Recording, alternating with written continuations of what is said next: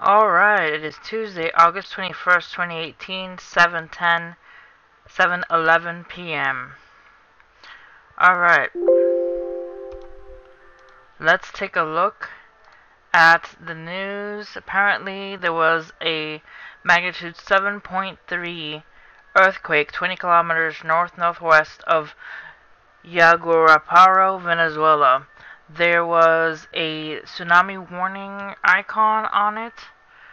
Um, there was a tsunami alert issued on the Caribbean after a 7.3 magnitude earthquake shook Venezuela.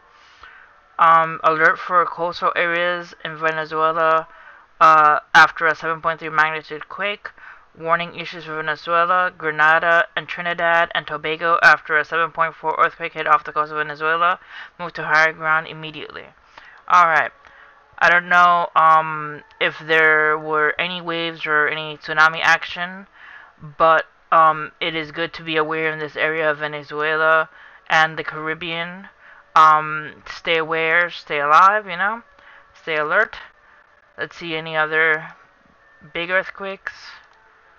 There was the 6.7 in Lakatoro, Vanuatu as well in the same area uh, close to Fiji where the 8.2 is. Very active right now for uh, earthquake activity.